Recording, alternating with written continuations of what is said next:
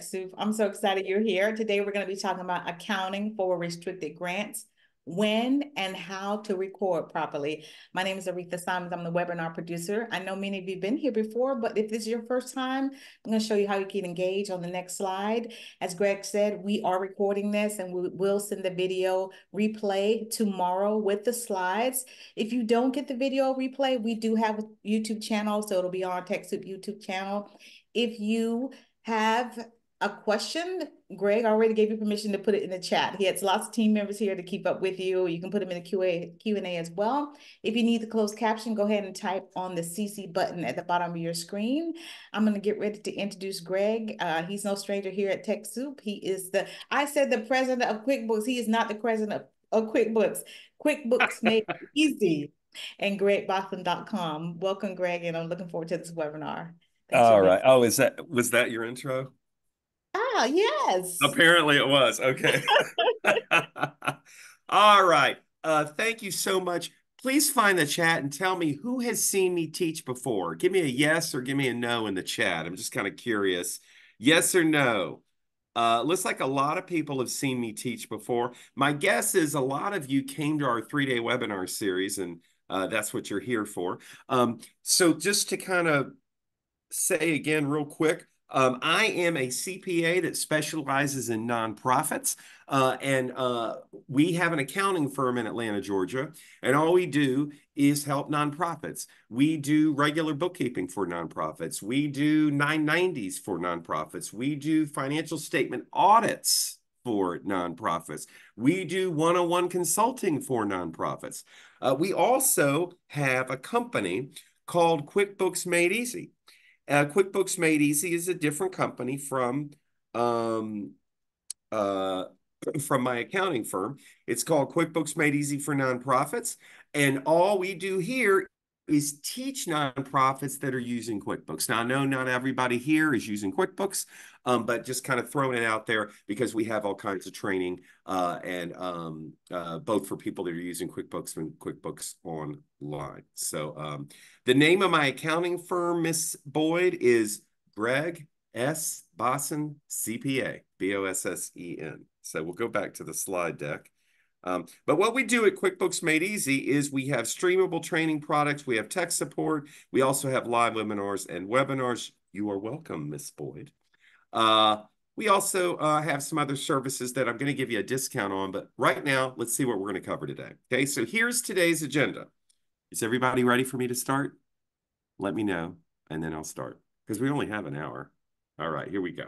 So um, what we're going to do is we're going to go over when to record restricted grants. Okay. So the first thing that we're going to do is we're going to talk. Now, I, I should tell you ahead of time, this is not uh, an hour that's just for people that are using QuickBooks. This is like anybody who is a nonprofit and wants to understand about grants and when to record them.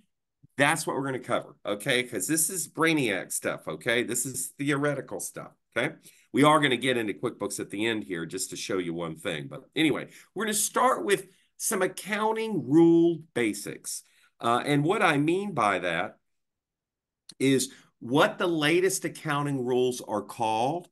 I'll give you a hint. They're called Generally Accepted Accounting Principles, or GAAP is the acronym. We're going to talk about those. Um, and those we'll be looking at um, to decide to help us understand when we're supposed to book grants. So we're going to need to learn, and I'm going to teach you how to understand what you need to decide before booking. Uh, and there's actually three questions. I'll say that again. Three questions. I'll say that one more time. Three questions that you need to answer about a grant. And the answer to those three questions will determine when you book it into your financial statements and how you book it onto your financial statements. All right.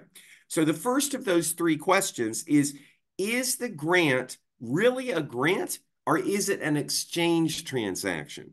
A grant is where you're given something. An exchange transaction is where you give somebody, you give something back to the person that gave you something. So it's an exchange. That's more like a service or a product. That's like a sale. So, like if you're a membership association, then your memberships or maybe your tickets for a conference, those are exchange transactions. Those aren't grants. Whereas a grant is where you're not really getting something. Uh, I'm sorry, you're not really giving something back to the people who gave you the money. I'll explain later. Okay, that's the first question. The second question is if you decide that it is a grant, then you've got to determine whether the grant is conditional or unconditional. And that determines when you book it. And we'll talk about what conditional versus unconditional grants mean. You also have to determine whether the grant is restricted or unrestricted. And that also is something you'll need to know in order to determine when to book it. So those are the three questions. We're going to go through those three questions. You'll need to apply them to every single solitary grant that you have. All right. To determine when and how to book it. Okay. Um, we'll look at when to book it. We'll look at how to book it. And then at the very, very end, we're going to look at a problem um, and we're going to show you how to fix it in QuickBooks. This is if you get a grant in right at the end of the year that's for a future year. If you book it into income, it makes your books look awful. Do y'all know what I'm talking about? Put it in the chat. Y'all know what I'm talking about? Where you get money in, you book it, it's for a future year. It makes it look like your books are really, yeah, it's, yeah. So that kind of a thing. So we're going to talk about that. All right. So that's what the agenda is going to be today. Um, I'm trying to think. I feel like there was something else I needed to say about that. Um, ah, no, but there was a poll that I wanted to do. I'm going to go ahead and do a poll real quick. I think I have polls here. Maybe I don't. I thought no. I had polls for this class. No, but they can type it in the chat. Oh, okay. Tell me what software you're using. Are you using QuickBooks Desktop, QuickBooks Online, or are you using something else like Sage or in uh, um, um, Peachtree or uh, Intacct or yeah, so somebody's using Sage right there. So yeah, mostly it's QuickBooks. I just want you guys to see most people use QuickBooks Online. Uh, but there are a few people that do something else. And again, this is seminar is or this webinar is for everybody. Doesn't matter what you're using. Okay. So here we go. Uh, yeah, NetSuite. One person is using NetSuite. NetSuite can be kind of expensive. All right. Um, one thing I do want to tell you is if you are using QuickBooks, it looks like a lot of you are, we've got a webinar coming up next month where we're going to walk through step by step how to enter and track expenses for restricted grants if you are in QuickBooks Online and also if you are in QuickBooks Desktop. The seminar is normally 179 We're giving you $30 off. Uh, you have to put in that code, which is TS30. We'll talk about it later, okay? So uh, that's something that you might want to look at. But let's get into what we're going to be learning today. All right. The first thing I need to explain to you is who and what decides the accounting rules, okay? The ones that we're going to use to figure out when to book grants, okay? Uh, Lori wants to know if the view behind me is for real.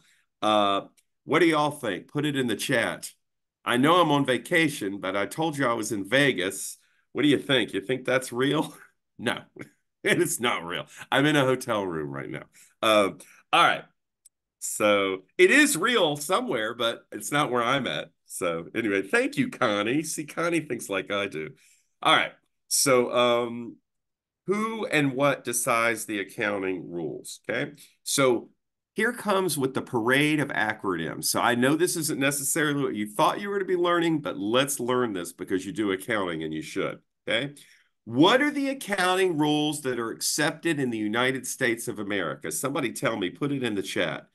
What are the accounting rules that are accepted? It's GAAP. That's right. And GAAP stands for Generally Accepted Accounting Principles. Now, they're a principle, and there's 10 of them, kind of like the 10 Commandments. Now, the funny thing is that that's what America does. The entire rest of the world uses something else. Does anybody know what the entire rest of the world uh, uses? Um, IFRS, yes, which is IFR. What is that? International Financial. I don't know what that stands for. But anyway, uh, I can't remember. I should have looked at it. But of course, right? America has their own special rules, right? But they are trying to make them as close to IFRS, International Financial Reporting Standards. Thank you. I appreciate that. Thank you, Melissa. Uh, oh my gosh, Eric did uh, his master's thesis on US changing to IFRS. Probably something we should be doing. Absolutely. So, who decides what GAAP is? Who decides what GAAP is? Put it in the chat. FASB. FASB stands for the Financial Accounting Standards Board. There are seven members of that board, and those seven members decide what the rules are that are considered generally accepted accounting principles. All right. And they do this by writing them down. Okay. They don't just talk to them about them, they write them down. And they write them down. I try and think, make things as easy sounding as possible. They write them down through something called an ASC, ASCs, which is stands for Accounting Standards Code or accounting standards codification. But basically, those are the legalese type of rules that will explain what the GAAP principles are, because there's only 10 principles, and then the rules are kind of like the gory details of how to follow the principles. Okay. Um, the ASC is the only authoritative source for United States GAAP. The thing is, they're legalese, they're wordy, they're technical. Nobody knows how to read them. So therefore, except maybe Eric. Um, so therefore, they are explained through something called ASUs. ASUs are accounting standards update. These are the things that you can read. They're like articles and they explain the ASCs and they give examples of how things, how you would apply the rules. Okay. So just again, the parade of acronyms, GAAP, generally accepted accounting principles. Who decides those? The Financial Accounting Standards Board. By putting out ASCs, which are the legalese rules themselves, and the ASUs, which are the articles that explains the ASC. Are y'all ready to take the, C the CPA exam? Um, so Maria says, hopefully those seven people aren't getting wined and dined by people. Um, and just for the heck of it, here are the seven people. All right. you know, I like to put faces. Okay. That first guy, what's his name here? Uh, Richard Jones. He's the head dude. All right. He's the head dude. James, I'm a little concerned about James. He didn't smile. Uh, everybody else seems to be smiling. James, I don't really know about. But anyway, so these are the seven people that if you get mad at what I'm about to tell you, you can blame them. Okay. are we cool with that? All right. How's everybody doing? You doing okay? Because we're about to get a little deeper. We're about to get a little deeper. Okay, here we go. Okay. All right. Let's see. Little deeper. Okay. This one's going to blow your mind. Do you have to follow generally accepted accounting principles? What do you think? Do you have to follow GAAP? Is that like a rule? Are you going to be thrown in the trash if you do or thrown in jail? You don't necessarily have to follow GAAP. You don't have to necessarily follow GAAP. Okay, so the person who thinks they have to follow GAAP, it's a maybe. Okay, when would you have to follow GAAP? Well, if you are getting an annual audit review or compilation, that's a report generated by your accountant that is in accordance with GAAP. You see, you can get an audit done in other than GAAP basis. Okay. The accounting gods are not requiring you to get an audit, and they certainly aren't requiring you to get an audit in GAAP basis. It's the funders or the states that would decide they want an audit in accordance with GAAP. Okay. So, um, if you're getting an audit, review or compilation that is in accordance with GAAP, um, uh, or you have to generate a report at all that has to be in accordance with GAAP. And either a grantor or a state might require it for reporting. Okay. Um, now, the other thing that I want you to understand is if you notice, let me see here if I can do this now. Okay, you see how I've got the word report highlighted and underlined, the word report? GAAP reporting is what you need to stick to. Okay. You don't have to do GAAP data entry all year long. You can simply adjust to it whenever you do a report. Okay. So even if you have to report on GAAP basis during the year, you don't have to do it. Okay. You would just need to adjust at the end of the year. So you might say to my me, Greg, why would I not keep GAAP all throughout the year? Why would I adjust to it at the end of the year? Because it's a pain in the butt. Okay. Let me explain to you one of the reasons why you might not follow it. GAAP requires many restricted grants. Listen very carefully. I know I'm trying to be funny here, but this is serious. A lot of your grants that are restricted, GAAP requires them to be booked into revenue as soon as you get the award letter. Now, there are exceptions. We're going to go through that. But in general, a lot of your restricted grants, if you're going to keep GAAP books during the year, you're supposed to book them into revenue as soon as you get the award letter, even if it's for future years. Now, that is going to make your books look weird because you're going to have all this income showing that's for next year. All right. So you may choose not to book the future revenues until the funds are received and then adjust it at audit time. Okay. And yes, Maria, GAAP reporting, true GAAP reporting, generally accepted accounting principles requires you to book your revenues even before you've received the money, which is called accrual based reporting okay? Which means every time you get an award letter, you would have to book an invoice in QuickBooks, all right? And then it makes your books look weird and blah, blah, blah. So you may decide not to do it during the year and just do it at the end of the year at audit time, all right? So I will tell you once again, there are some states that require GAAP reporting. One of them is Texas, one of them is New York, one of them is California. So if you were in these three states and you're like, well, wait a second, I thought we had to keep GAAP according to the state for reporting only. So at the end of the period, you may have to adjust before you report to any outside body. All right. Adrian is already confused. Adrian, what is your question?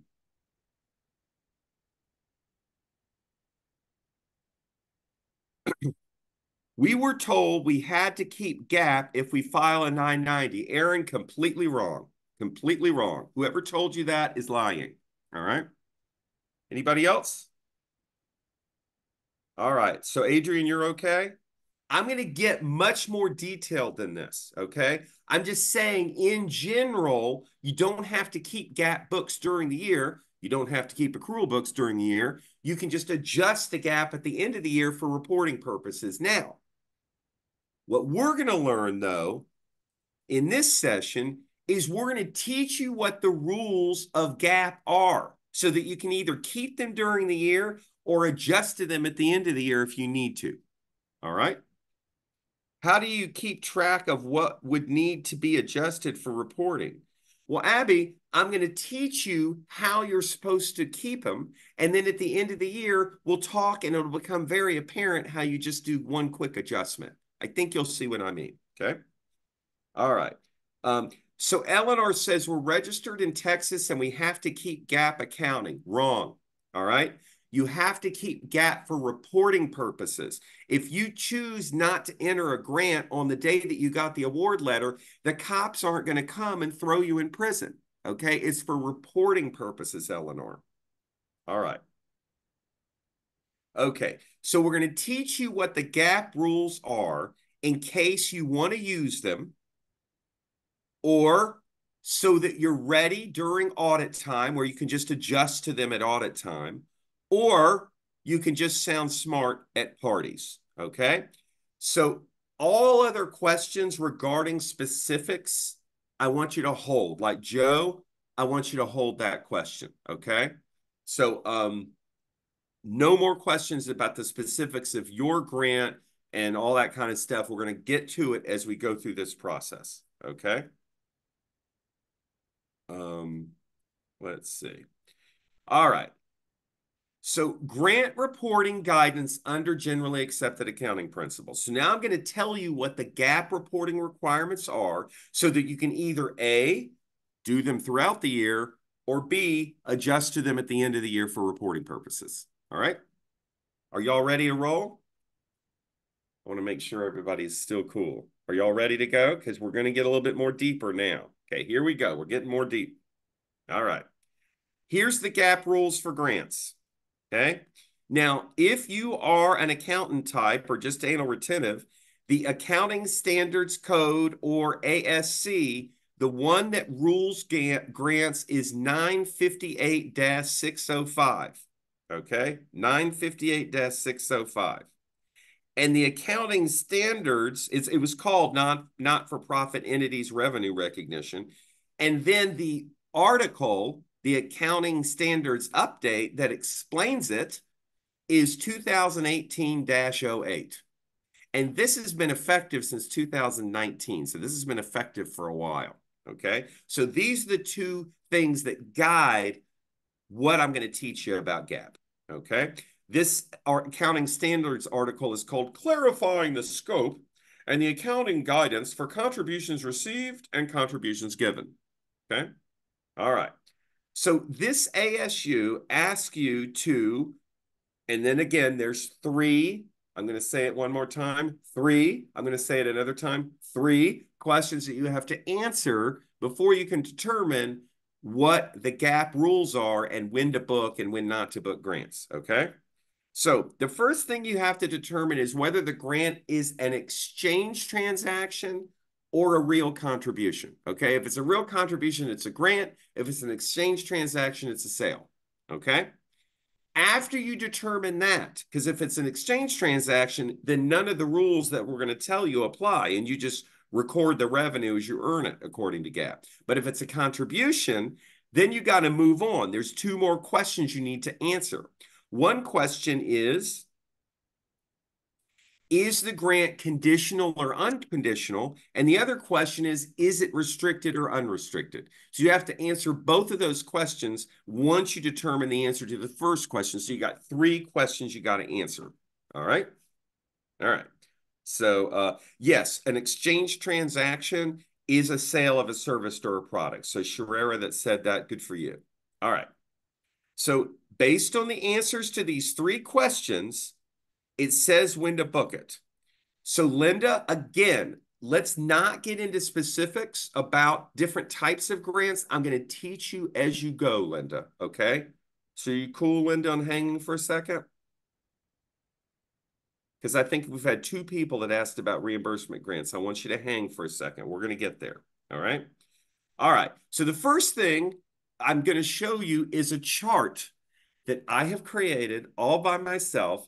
You can tell I've created it because it looks ridiculous, okay? But you'll get it in your PowerPoint slides, and it really does give you a flow chart for understanding when uh, and how to book stuff, okay? So the first thing you got to determine is if the contribution is a grant or not, okay? If it's not an exchange transaction, okay? Now, if the grant is not really a grant, but an exchange transaction, then you book it as it's earned. And I'll tell you the difference between a grant and an exchange transaction uh, in a minute. Okay. Now, if it is a grant, then you have to answer the two other questions. Okay. And I think what I might do, I think, well, you know what? I'll go through this whole thing. So if it is a grant, then you have to determine if it's conditional or not. All right. Now, I'm going to tell you right now, most grants are not conditional. Okay. And a conditional grant means that there's some huge barrier that you have to go over before you'll be able to receive the money. Okay. One example of that is reimbursed based grants. Reimbursed based grants are grants where they are not giving you the money until you submit an invoice with a list of your individual transactions that you charge. Sometimes you can just summarize it, but you they want to know that you've spent the money before they'll give you reimbursement for it. That's a conditional grant because it has a barrier. We'll talk more about that in a minute. But anyway, most grants aren't conditional. Okay. If they're not conditional, if it's not a conditional grant, and we'll talk more about what a conditional grant is, um, contributions and grants, Donna, are the same thing. They're the same thing. Yes, you get a copy of the slideshow, Joanna. Yes. Okay. All right. So once you determine uh, if it's conditional or not, and most grants are not conditional. If they're not conditional, then you have to book the revenue now according to GAAP when you receive the award letter. You have to. Okay. I know you don't like it. You'll have to talk to those seven people. But unless it's conditional, you have to book all of the revenue when you got the award letter. Okay. If you want to keep GAAP. Okay. All right. Alexander, I'll get to that. All right. Even if you haven't gotten the money yet, you still have to book it if it's not conditional. Um, no questions. I'm going to say one thing. No questions for about five minutes. Then I'll do questions in the chat again. Okay. Just to make sure that I stay on track because all these questions are great, but I want to answer them and I can't when I'm talking. All right. So um, even if it's restricted for a future year, say you got a grant, it's it's not conditional. It's a five year grant. You're not getting the money for five years and then it's the next five. Doesn't matter. It has to be booked now, even if it's restricted for a future period. Okay. Uh, oh, Christy, I'm sorry. That's right. Date of the award letter is when you would need to book it, not when it hits the bank. Sorry, Christy. Now, if it's a restricted grant, then you'll want to segregate it on the P&L. You'll want to segregate it and put it as its own separate line on the P&L. I'm going to show you that. Now, some grants are conditional. Conditional, again, means there's this huge barrier that you have to overcome. All right.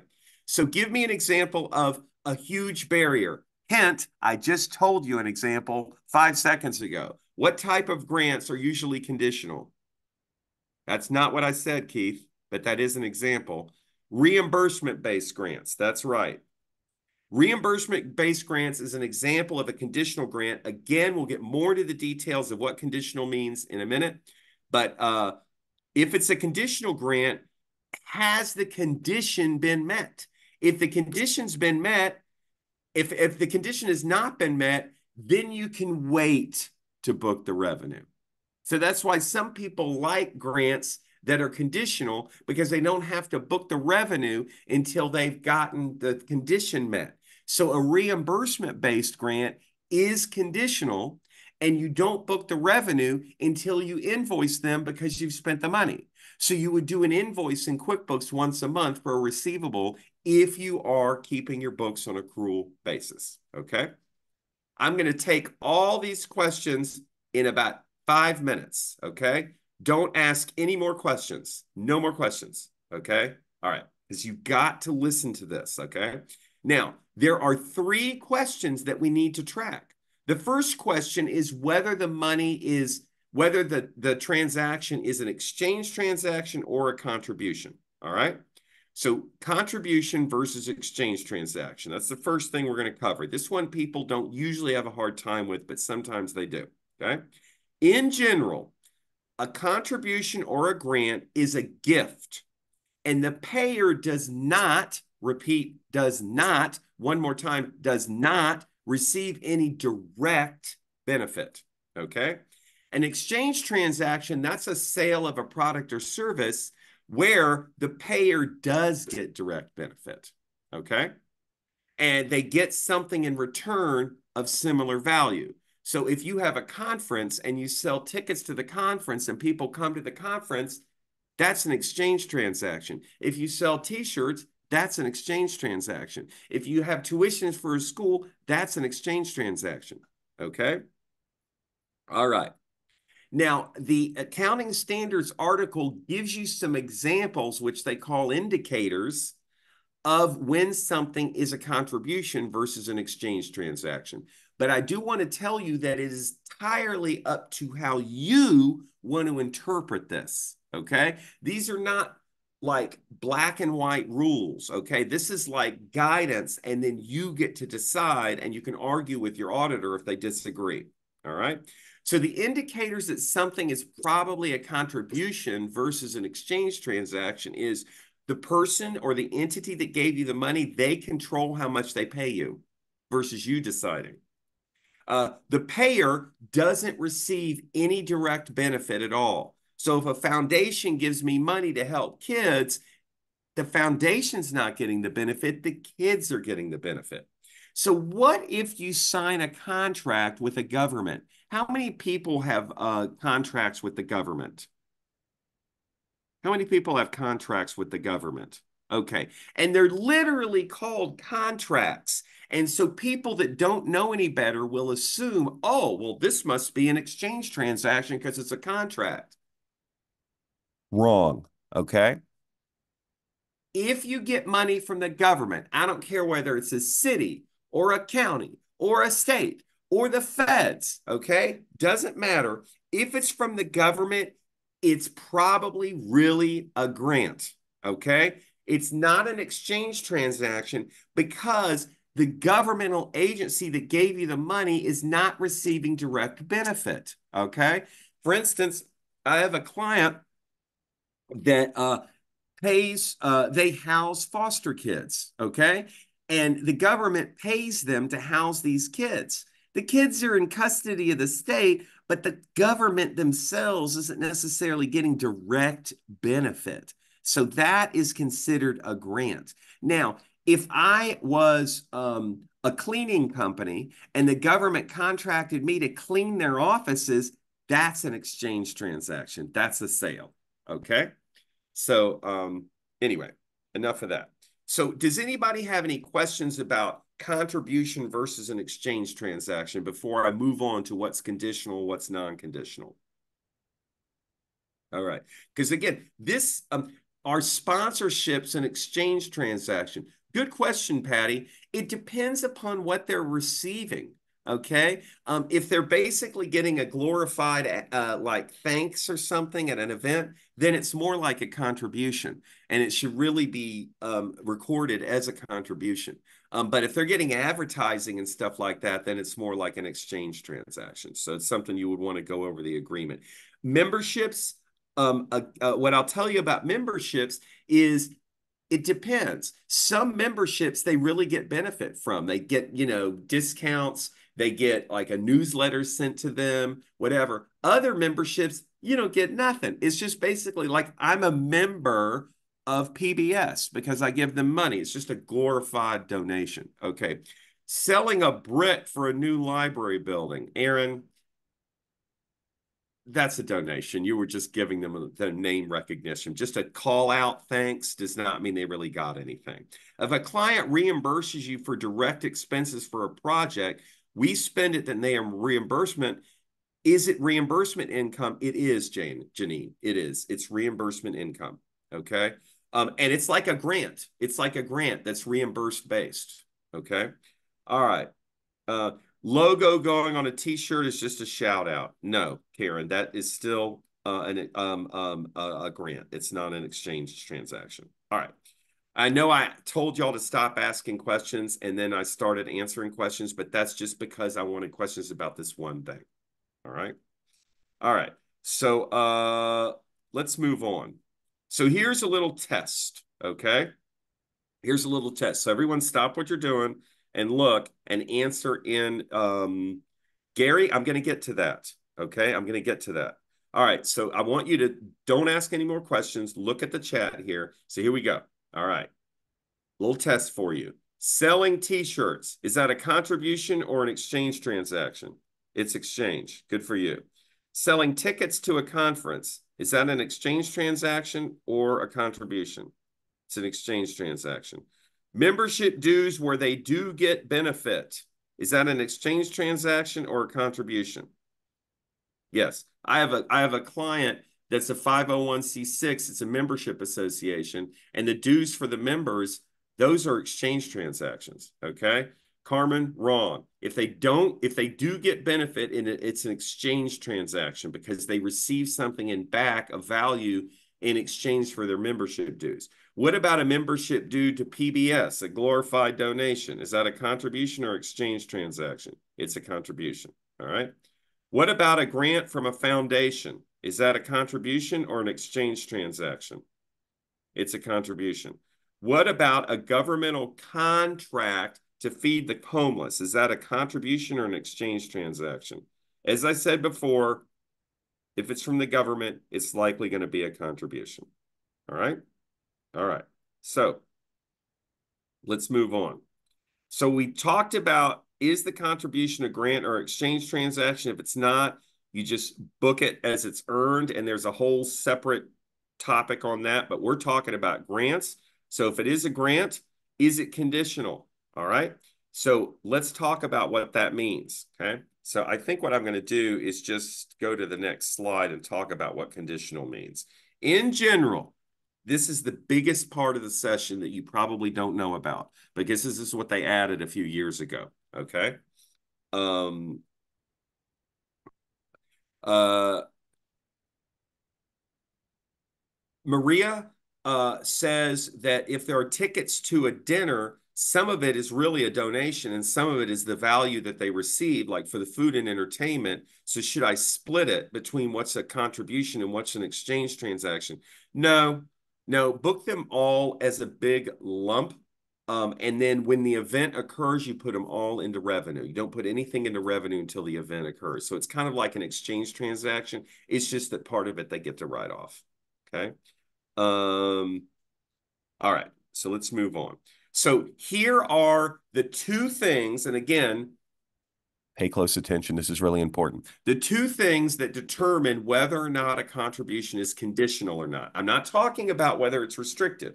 I'm talking about whether it's conditional. Two things. One, if there is some major barrier to overcome, and when you overcome that barrier, then you'll get the money. Okay.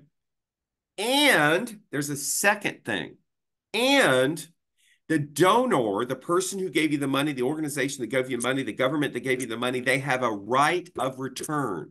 A right of return means they can either take the money back or not give funds in the first place. Okay. If you don't do what you're supposed to do. Okay. That is the second thing. So there's two, not one, but two, not one, but two things you got to find when you're reading the grant to determine whether or not it's restricted or unrestricted. Okay. I'm talking, I'm sorry, conditional or unconditional. Okay. So um, if it's not conditional, it's unconditional, which means there's no major barrier. All right. All right. So here is the right of return wording. And I pulled this directly off of a grant, okay, from a, uh, the Wallace Foundation. And I highlighted this was in the grant. Wallace reserves the right to withhold payment or terminate the agreement under any of the following conditions. And then it had all this list. That is a right of return, especially underneath here. All other grant funds must be returned to Wallace within 10 business days of the termination. So that is a right of return. So you look for that wording first. Once you've looked for that wording, then you've got to decide whether there's a barrier. Most grants have this wording in them. So the right of return is not really the major thing that you're looking for, it's the barrier that you're looking for. So, what is a major barrier? So, again, ASU 8 2018 08 gives indicators, and it's up to your interpretation. This is a condition, this is an indicator that uh, there that the condition is a major barrier. It's a measurable outcome. Okay, it's not um, teach the children. It's measurable. It has to be something like teach these nine classes over the next six months to these 36 children that we're picking for you. Okay, that is a condition. all right, that's measurable.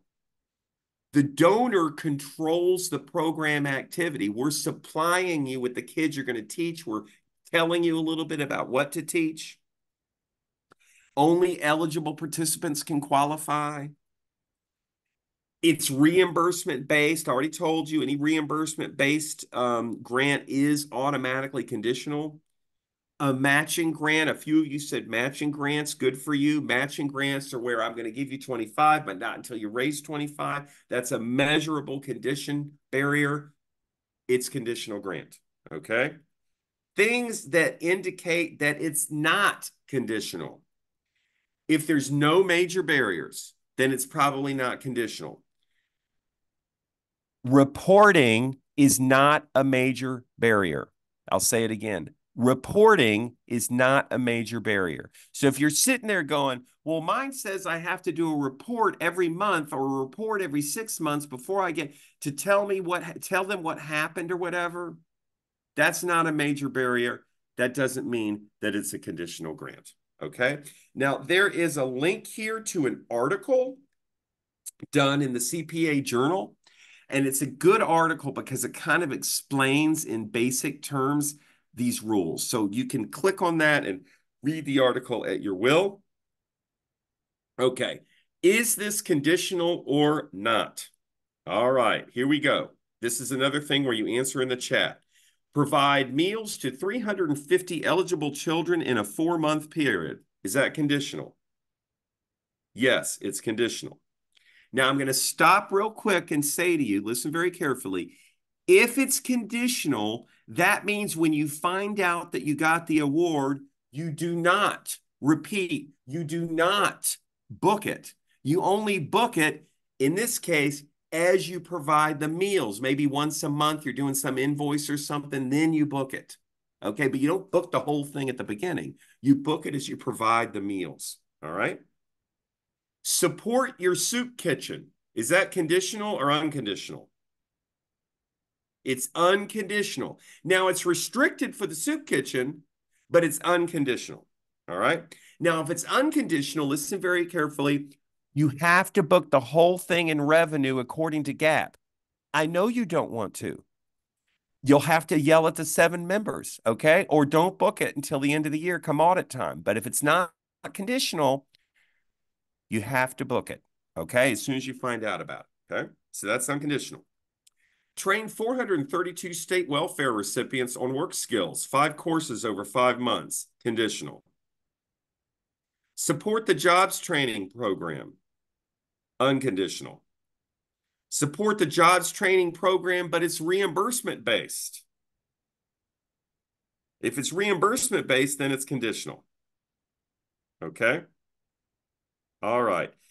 Can't get final funds until there's a report. Does that make it conditional or unconditional? It makes it unconditional. All right. So all of the ones that are conditional, oh, here's another one, can't get final funds until showing a match.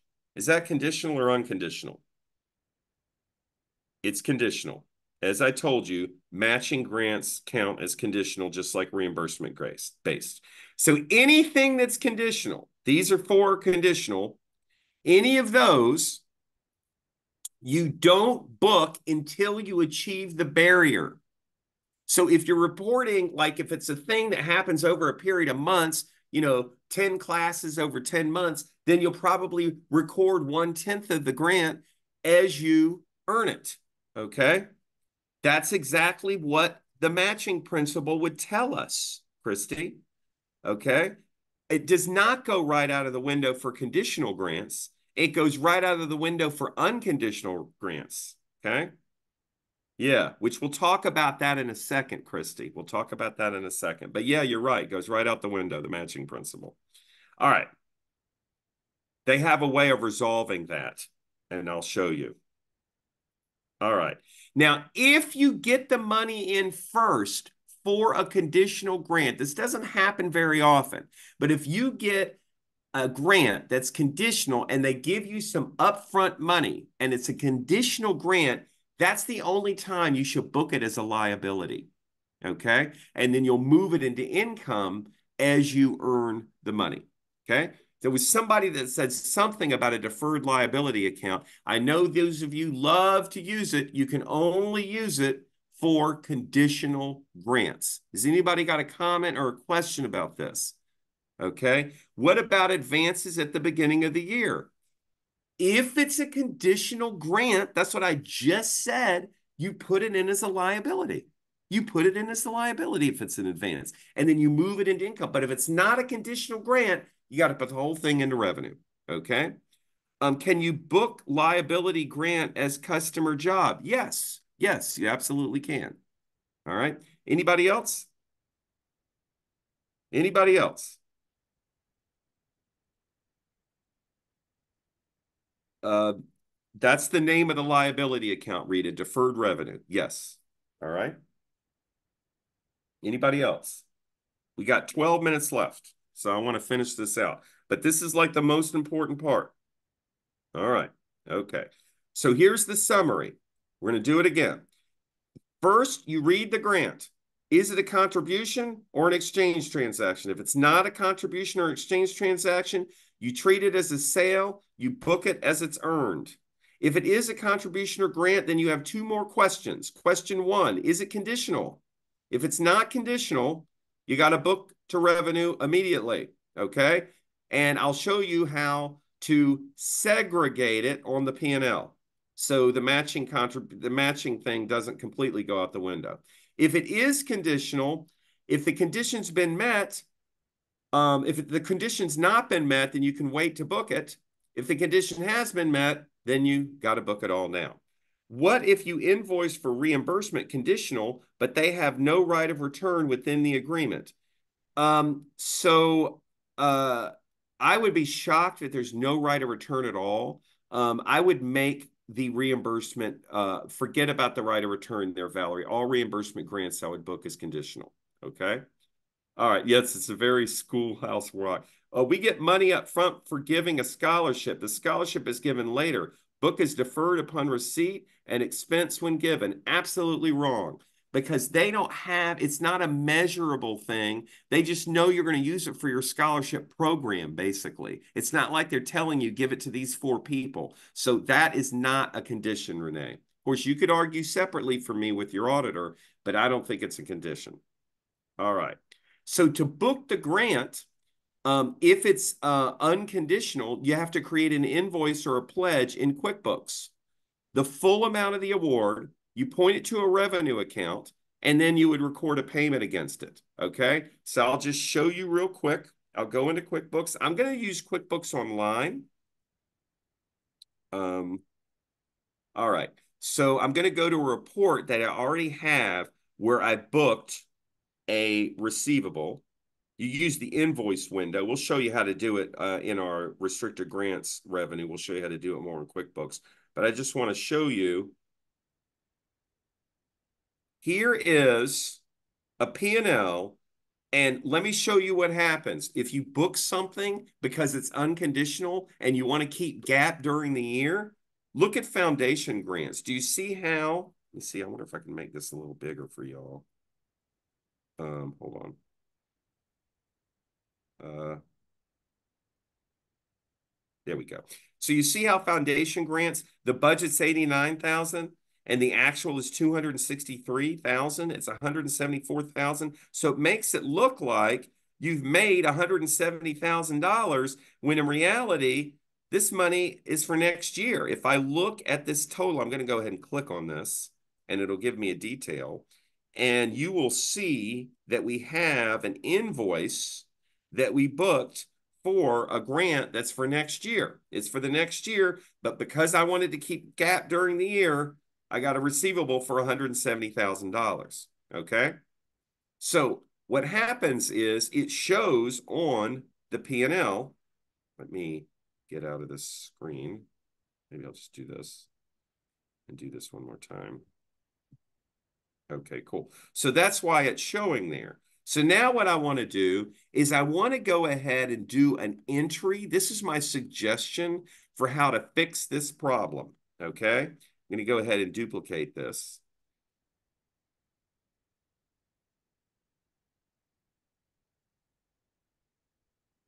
I'll finish here in about five more minutes, and then we'll start with the more with questions, and I'll go over a few minutes to get the questions answered too.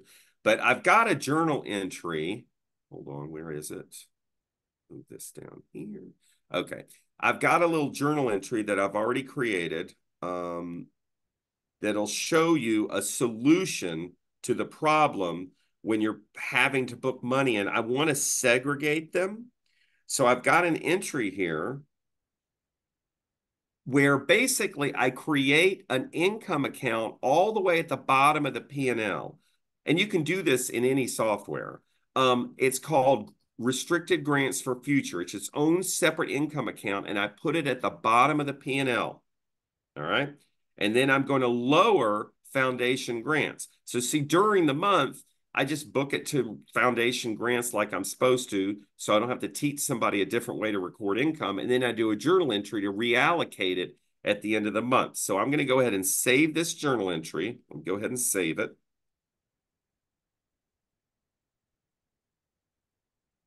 All right. So I'm going to go back and I'm going to look at this report again. Let me just refresh the report.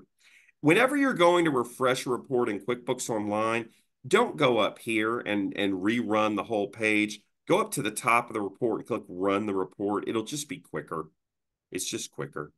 Um, see, I had to, one thing I changed here. All right. So now when I look at it, you can see foundation grants was way low now.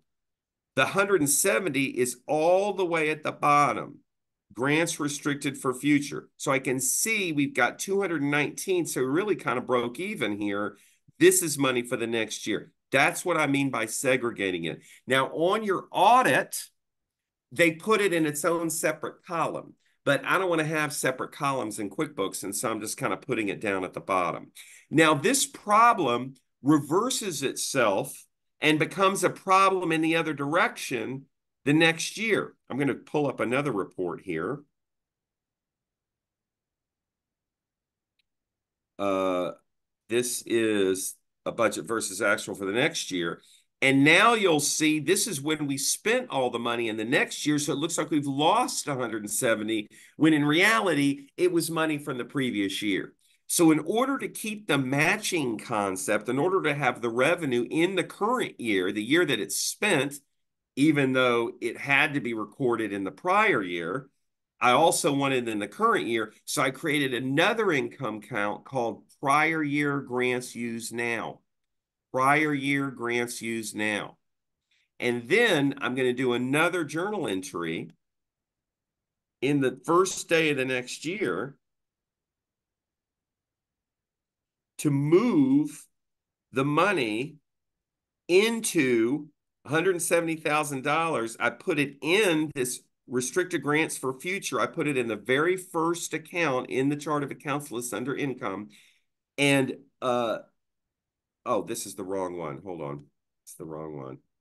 Uh, I got to do the other one. Uh, oh, it's down here. Um, here it is. Uh, is this? Hold on, let me see which one it is. It's this one. Okay, so what I did was I created an income account called prior year grants used now. I mean, at the very first income account. And what I'm going to do is I'm going to credit that to make it go up. I do this the first day of the next fiscal year. Okay, so this would be, we end on June 30, so it'd be July 1 of 25. And then I have another account called prior year grant reversal that takes it back out. So I have one account that puts it into the P&L in the current year, the year that you spent it. And then I take it right back out again because it's not supposed to be in there because I had to book it last year when we got the award letter. You can't book it twice. I'm going to go ahead and save this. I'm going to go back to my P&L and then I'm going to refresh this report. Uh, 24, 25. Oh, I dated it the wrong date. Hold on. Um, 24. All right.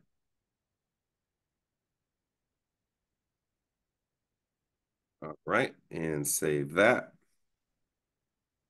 Okay, so now let's go over here and refresh the report. So you can see what it would look like the next year.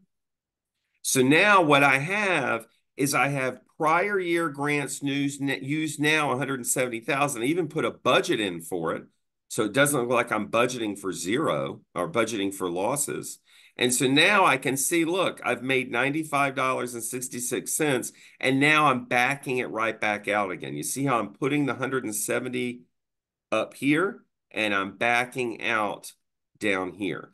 But the down here is after net operating income. So this is the thing that they really care about. So now the matching contribution, the matching is still uh, intact. All right.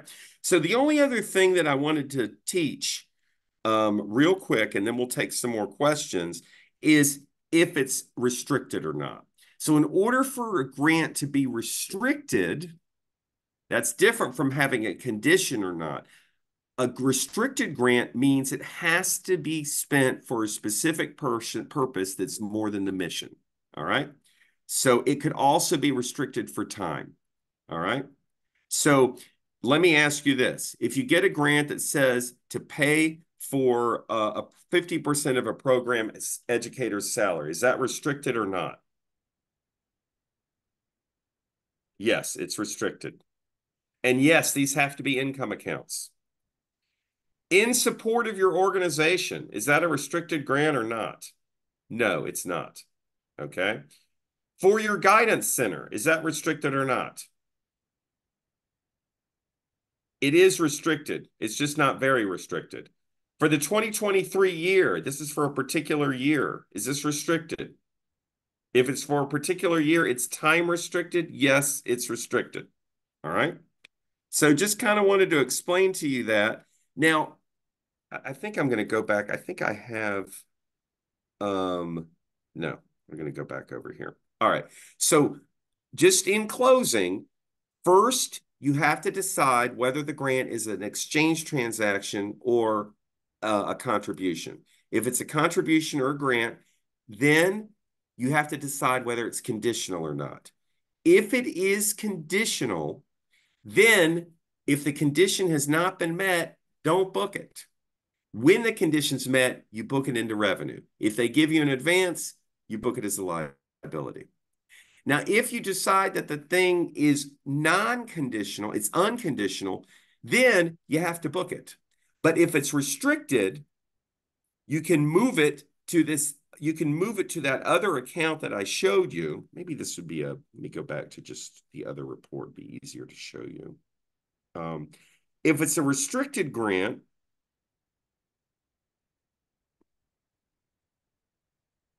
then what I do, I have to book it into revenue, but I put it all the way down at the bottom and I make it an income account. Okay. And then in the following year, then I'll move it up to the top in that prior year grant used now. But as soon as you know that it is an unconditional grant, you're going to have to book it. It's just a matter of whether it's restricted and goes at the bottom or unrestricted and goes at the top. Okay. So there's not really any choice in the matter. Okay. So um, the gory details of getting restricted grant reports and pointing expenses to a grant and what field to use um, is all part of a two hour restricted grant training that I'm doing in July, just for people using QuickBooks Desktop and QuickBooks Online. Okay. So there's a coupon for it. It's $179 normally. You're going to get $30 off. It's July, Tuesday, July the 16th for those using online, and Wednesday, July the 17th for those using desktop. The code is TS30. That's TechSoup 30. Okay. And to sign up for it, you simply go to QuickBooks Made Easy. So you go to QuickBooksMadeEasy.com, you click on courses and training, you go to webinars, and you'll scroll down here. This is deep dive into tracking restricted grants using QuickBooks Online. Here it is again for the desktop. It's 179. Again, you put the code in at checkout, you're going to get $30 off. You got to do that by this Saturday. It says it's 90 minutes. Bill, can you make this two hours? It needs to say two hours. So what I'm going to do now is I'm going to pull up the chat. I'm also going to have Paige um, uh, come live on page uh, and tell me what your thoughts are in terms of what we have covered. And if there's something I'm missing. So no, I think I mean I think it was fantastic. There was a lot. Uh, there just restricted grants, as you know, is, is just a lot um, to to deal with. There's a lot of guidance around it, uh, a lot of nuances around it. There's just a, there's a lot, and so and I'm also really glad. I was going to ask you too. I'm really glad that you pulled up uh, the deep dive into tracking restricted grants webinar because there were a couple of people in the chat uh, asking for more detail about it. So I, I think um, sometimes an hour is just not enough um, for for this webinar, although it was fantastic. Um, but you know, an hour is a lot for for such a, an extensive topic. So I'm glad that you well, that up, and I think um, going to get a lot. Yeah. They're going to get the video now. I wanted to say this. So uh, there's a few things at the end. I'm going to cover this. Okay. So one person was like, so I just want to make sure. Can something be conditional and restricted? Yes, usually conditional grants are restricted. And usually when you've met the condition, you've also met the restriction. Okay. Uh, but can you have conditional grants that are unrestricted? You could. Okay. Uh, can you have unconditional grants that are restricted? Absolutely. You do that all the time. You have that all the time. Okay. Laura wants to know if I'm understanding it correctly, would a conference sponsorship be considered an exchange transaction that is conditional and un unconditional and unrestricted? So if, if you say something is an exchange transaction, Laura, you don't even talk about whether it's conditional or restricted. That's only for grants. Okay. So if it's an exchange transaction, you book it as it's earned. You don't have to worry about whether it's conditional or not. All right. But a sponsorship isn't earned until the event happens. Okay. So I put it in liability until the events happened. All right. Anybody else got a question? Uh, let's see. This is so convoluted. It really isn't, Janice. If you say it's convoluted, that means I'm not doing my job right. Okay. So Janice, um, I want to find out what it is that you um, are asking about. Stephanie, can you please show us again the debits and credits of restricted journal entries for the matching? So I didn't teach any restricted journal entries for matching. She says it was rushed at the end. So Stephanie, why don't you reach out to me personally and I'll just spend some time with you alone. I don't think I rushed, but let me try and help you. Um, Graceful Seven, how do you decide when a contribution that is not used during the year ends up as restricted net asset rather than deferred? So contributions, um, the only time you put something as deferred is if it's a conditional grant and they gave you advance money. If it's a conditional grant, as you earn it, you invoice them and apply the deferred revenue to the invoice. That's what you should do. Um, let's see. Uh, Ashley, do you need to create an invoice for each grant received, despite whether it's conditional, restricted, or exchange or not? Okay. You would do invoices if you want to keep GAAP based. Yes. Regardless of as soon as you get the award letter, unless it's conditional, in which case you do the invoice as soon as you've earned the money, Ashley. Um, let's see. What else in there? Greg, Can Karen you quickly? German wants to know if encumbered and restricted mean the same thing. Uh, maybe. Uh, encumbered means it's meant for a particular purpose. So I guess that yes, it would be. Torrance, can you quickly comment on how restricted grants and release of restrictions could affect the 990? It's off topic. That's fine. Yeah, it, it what you book is the same for the 990, but there's a couple of different places on the 990 where you book the restrictions that aren't spent yet versus the ones that are. But um, Janice says she feels like she's going to forget this as soon as it's over. That's why we're giving you the recording. Um, the discount code again, let me give you that, is there it is. The discount code is TS30. Okay.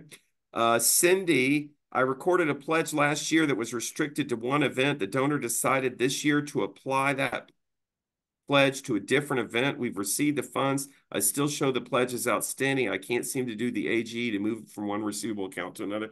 You need tech support with us. You need to get tech support from QuickBooks, okay? Um, my only questions about the three accounts you created is how does that translate to the equity section on the statement of financial position for temporarily restricted net assets? So um, it doesn't. Um, uh, well, actually, the stuff at the bottom needs to go in the temporarily restricted section. The grants restricted for future. Yes, you received the slides for the for the class. Um, Virginia, do you teach new executives on how to structure the grants? Yes, we can do it through tech support, or you can buy an hour a time from me. Um, uh, TechSoup's webinars are free. My restricted grants webinars aren't. Um, let's see. Yes, you received the slides. Should all unrestricted grants go into the same income account until spent? Uh, you could put them in separate ones, Steve, if you want to. For ease, I like to put them in the same. Uh, Jenna, if I receive a ward letter saying 52424 that says grant funds will be fully expended during the term fiscal year 25, does that mean I book it in 24 as restricted, but can't use it until 25? That's exactly right, Jenna.